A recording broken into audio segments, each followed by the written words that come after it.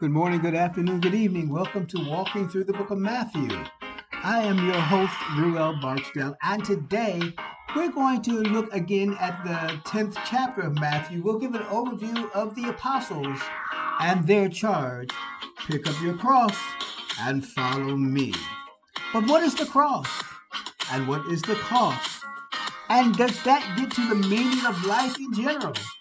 Those and other questions we'll answer as we revisit the 10th chapter of Matthew.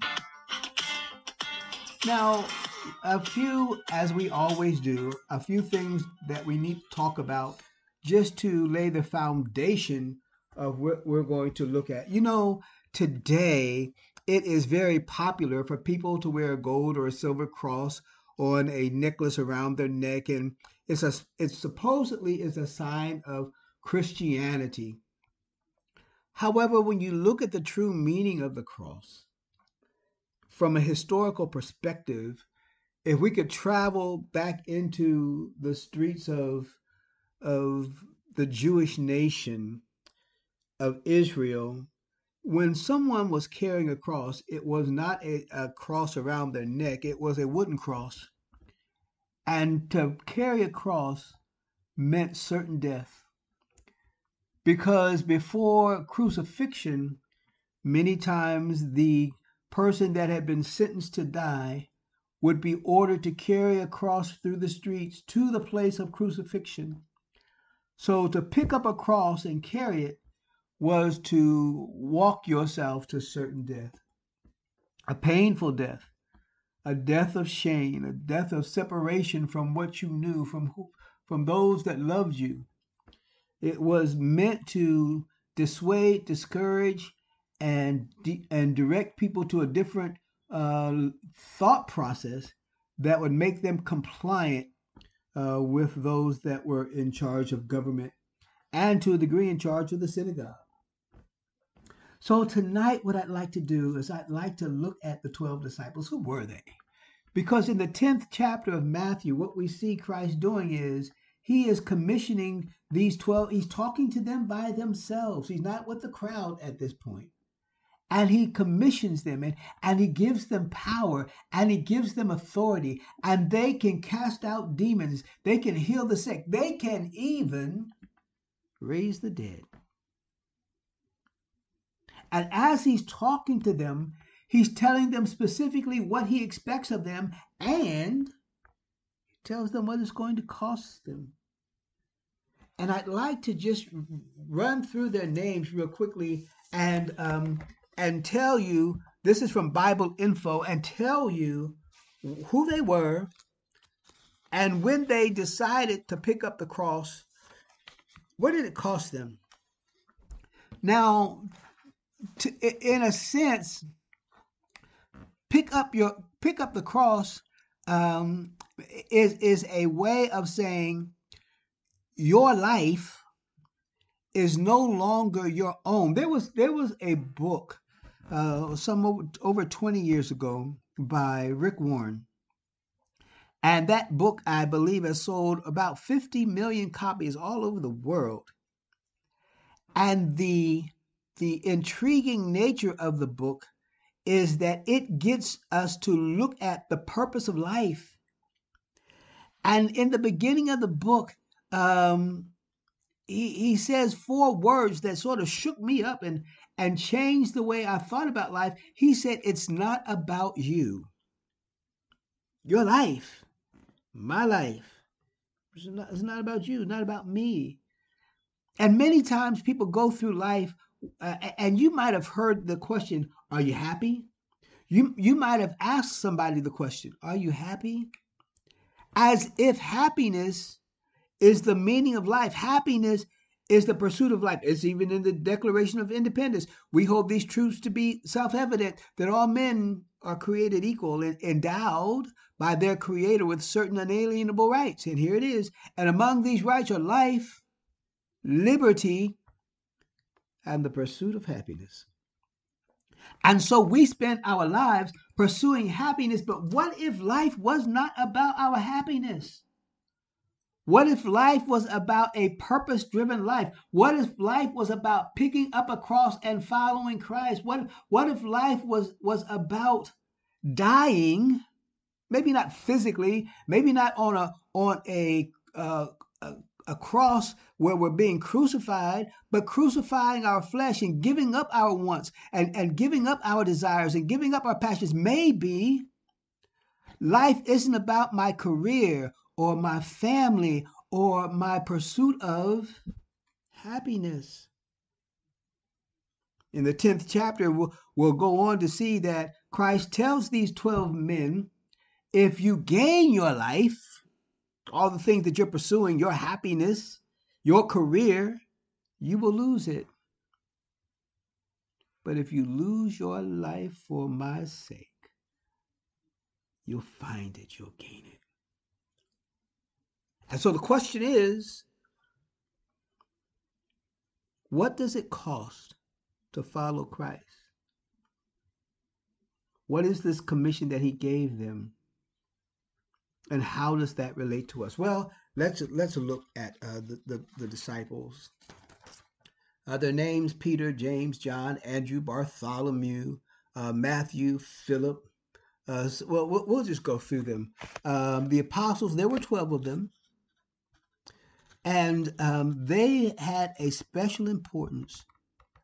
Um, the 12 disciples or apostles of Jesus were the foundation stones of his church.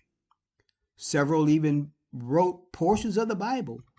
In Revelations 21:14, we are told that the 12 foundations of the wall of Jerusalem will have in them the names of the 12 apostles and so we've come to understand that God attaches great importance to these 12 men. So who were they? Whenever you hear them, see them, read of them in the Bible, whether it, it is in Mark, uh, Luke, or Matthew, Peter is always listed first. Peter becomes the leader of the 12. Simon Peter, son of Jonas, was a fisherman who lived in Bethsaida and Capernaum. You know, Capernaum was where Jesus pretty much hung out. That was that was the um, the grounds where he lived most of his three years of ministry. He would move on from there to go out and teach and preach, but per- Capernaum was was the home base. Peter had, did his evangelistic and missionary work among the Jews, going as far as Babylon. He was a member of the inner circle and authored the two New Testament epistles which bear his name. Tradition says he was crucified head down in Rome. This fisherman called to bear to pick up his cross. James. What, what do we know about James? Well, James was the elder brother, the son of Zebedee and, and Salome, uh, brother of John the Apostle, a, a, fisherman who, who lived in Bethsaida. He was also in Capernaum and Jerusalem. He preached in Jerusalem and Judea and was beheaded by Herod. He was also a member of the inner circle. So we've got Peter, we've got James, and pretty soon we'll see the third person in the inner circle. Um, James was a member of the inner circle, so called because they were accorded special privileges. The New Testament tells us very little about James. His name never appears apart from that of his brother John, but they were inseparable. But he was the first of the twelve to become a martyr. John, the third person in the inner circle, Peter, James, and John. Uh, John was also a son of Zebedee a brother of James. He was known as the beloved disciple, and he wrote the fourth gospel. The, the fourth gospel is not one of the uh, synoptic gospels, the word synoptic meaning the same. Uh, J- James was the beloved disciple. James, I'm sorry, John was the beloved disciple. John was the disciple who lays his head on the chest of Jesus at the, the Last Supper. He also was a fisherman who lived in Bethsaida Capernaum and Jerusalem, a member of the inner circle. He, he wrote the Gospel of John, First John, Second John, Third John, and the Revelation. He, he preached among the churches of Asia Minor. He was banished to the Isle of Patmos. He was later freed and died. He was the only apostle, this beloved apostle, the only one to die of natural causes. Uh, Andrew. Andrew was the, the brother of Peter. As a matter of fact, it was Andrew who brought Peter to J- Jesus. Come, I, have I've met a man. He, he lived in Bethsaida and Capernaum. He was a fisherman before Jesus called him. Originally, he was a disciple of John the Baptist until he heard about this Jesus, and he brought his brother Peter to Jesus. He is the first to have the title of home and foreign missionary. He is claimed by three countries as their patron saint Scotland, uh, St. Russia, Scotland, and Greece. Uh, he also preached in Scythia, Greece, and Asia Minor. Now, Andrew could have been jealous because you know, I brought you, Peter, I brought you to Jesus, and now you're on the inner circle, and I'm looking outside. But um, he was arrested um, and condemned to die on the cross. But he felt unworthy to be crucified on the same shaped cross as his master. So he begged that his cross be different. He was crucified on an X shaped cross, which is still called St. Andrew's Cross, and which is one of his apostolic symbols this fisherman picked up his cross. Bartholomew, also called Nathaniel, son of Talmai, lived in Cana and Galilee. His of Galilee. His apostolic symbol is three parallel knives. Why? Well, we'll see that in a second. A number of scholars believe that he was the only one of the 12 disciples whose daughter, Maacah, was the wife of David, mother of Absalom. Bartholomew's name appears with every list of the disciples, whether in Matthew, Mark, or Luke, or Acts. This was not a first name, however, it was his second name. His first name was probably Nathanael, whom Jesus called an Israelite indeed, in whom there was no guile. Um, he developed into a man of complete surrender to the carpenter of Nazareth and one of the church's most adventurous missionaries. He is said to have preached it with Philip. Um, the Armenian church claims him as its founder and martyr. Tradition says that he preached in India and his death seems to have taken place there. He died as a martyr for his Lord. He was flayed alive by knives. Thus his symbol, three parallel knives. James the Lesser, or, or the younger, James the, the, the lesser or younger son of Alphaeus or Cleophas uh, and Mary lived in Galilee. He was the brother of the apostle Jude. According to tradition, he wrote the Epistle of James, preached in Palestine and Egypt, and was crucified in Egypt. He was one of the, the little known disciples. Some scholars believe that he was the brother of Matthew, the tax collector. James was a man of strong character with a and was a fiery type. Still another tradition says that he died as a martyr and his body was sawed in pieces. Judas Iscariot the traitor, th- th- this man was the son of Simon who lived in Kerioth of Judah. He betrayed Jesus for 30 pieces of silver, and later he hung himself. The, the man, Judas, um, probably believed with all of his heart that, that this Christ figure was going to lead a revolt that would overthrow the, the occupiers, the, the, the government of Rome, and, and uh, he was a violent nationalist. Followed Jesus because he thought that there was something in in there that that was going to allow the Jewish nation to arise to prosperity and prominence. He was the treasurer of the twelve. He hung himself after he betrayed Christ. Jude, or, or also called Thaddeus, or Lebbaeus, son of Alphaeus or Cleophas, was the brother of James the Younger. He was one of the very little known apostles, and he lived in Galilee. Tradition says he preached in Assyria and Persia, and he also died a martyr. He died a martyr in Persia. By character, he was an intense and, and violent nationalist with, with the with the idea that the, the Roman occupiers had to be overthrown. Um, it was said that Jude went to preach the gospel in Edessa near the Euphrates River. There he healed many, and many believed in the name of the Master. Jude went from there to preach the gospel in other places. He was killed with arrows at Erat.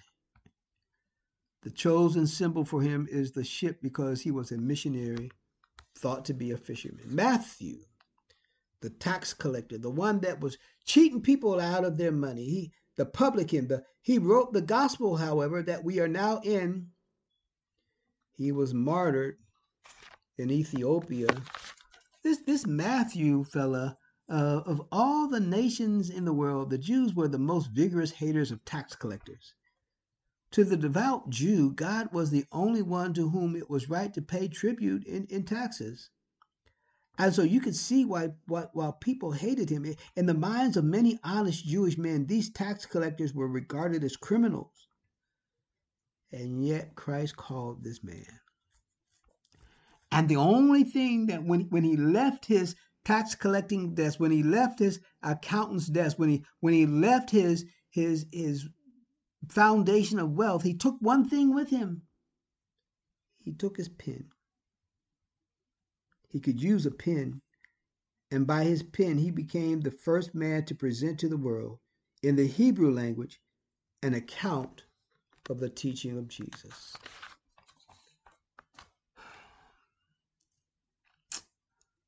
Um, he was a missionary of the gospel who laid down his life for the faith of his master.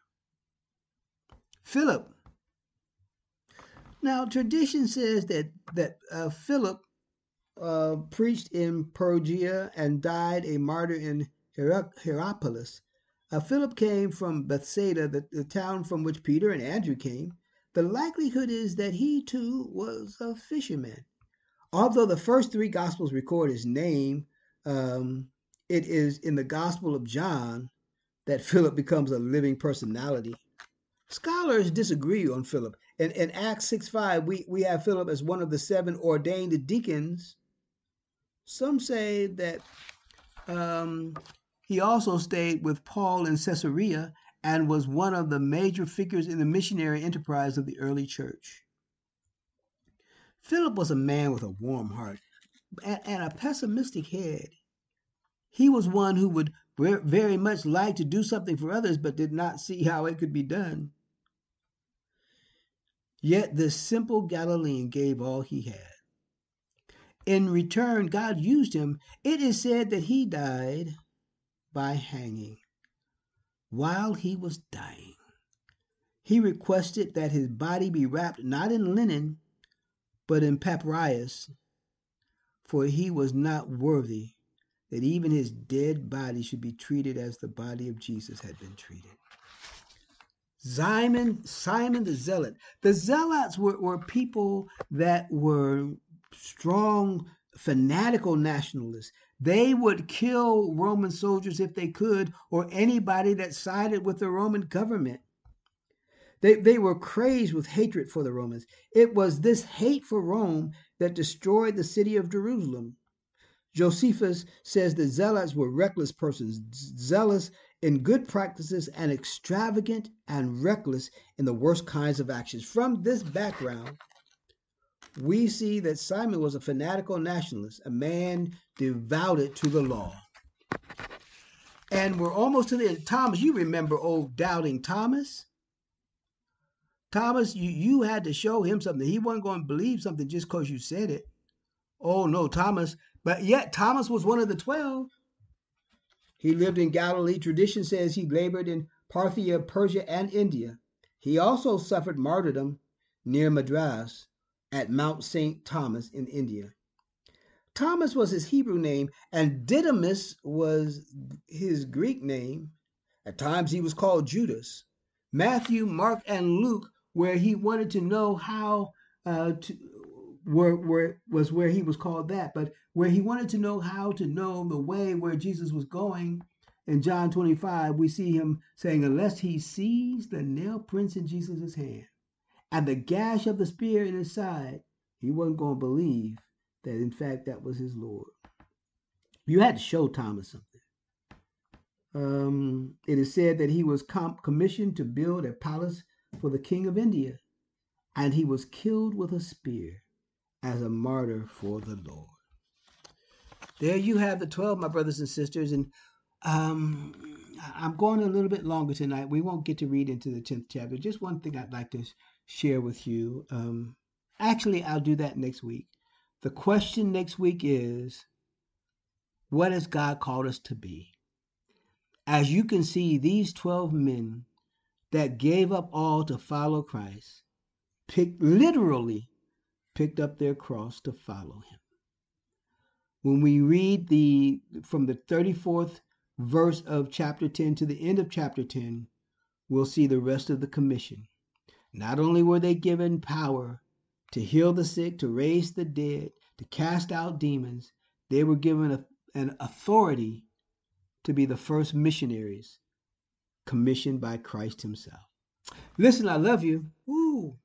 Next week, we're going to really get into this uh, fin- and finish the 10th chapter of the book of Matthew. So tell a friend, tell an enemy about our walk through the book of Matthew. I just maybe by the time our walk is over, you and your enemy might be friends. I love you. God loves you more. Bye bye.